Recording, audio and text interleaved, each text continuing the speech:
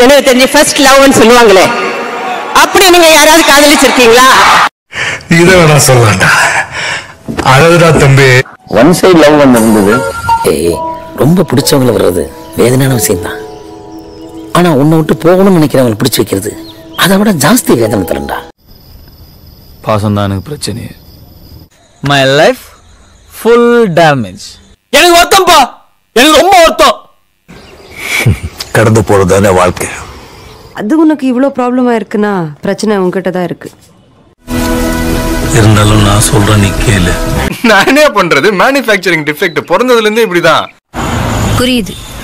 எதுவுமே கேட்க கூடாது அதானே?